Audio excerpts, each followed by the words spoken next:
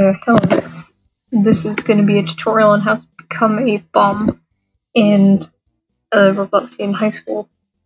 So there's plenty of ways you can do this. I'll show you both how to make a bomb and how to become a bomb. I'll start off with how to uh, become a bomb. So you want to go into uh, the avatar and um, click on the hat icon.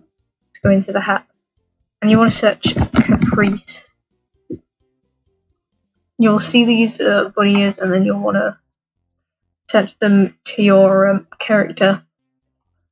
Then once you have done that, you want to click OK. Then after a few seconds of wearing them, you probably will explode. Like that. And you can use this to create um, something quite interesting. Let me reset.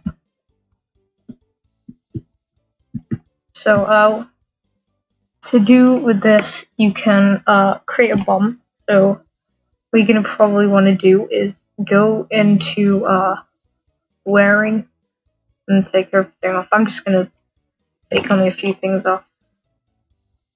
There.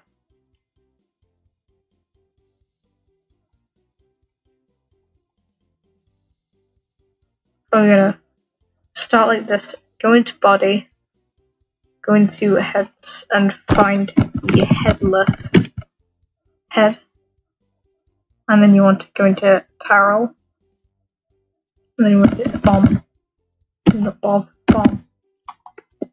Then uh, you can choose any bomb you want. There's the first two that come up are either this one, which most people use to make a rat, or this one. I personally find this one quite amusing.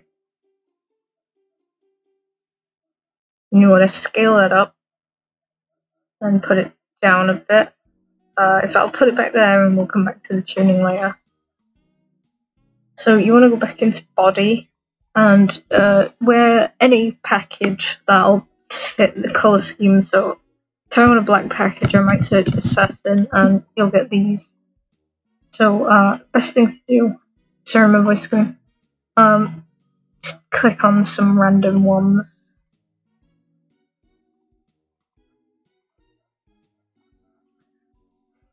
and then go into scaling, put the head scale on max. And you put these ones down, and then you can adjust the, go back into tuning and adjust the head. At this point you can then put it further down to your liking.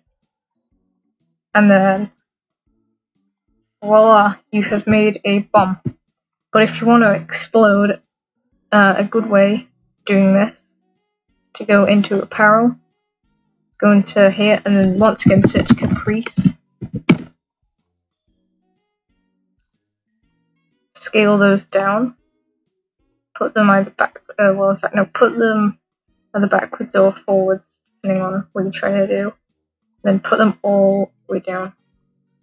And if poke out, maybe uh, move them a bit, like like that then once you're done, you click OK.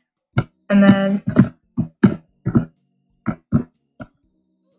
voila, you have an exploding bomb. And that's it really. I will be making uh, another tutorial after this one. Bye.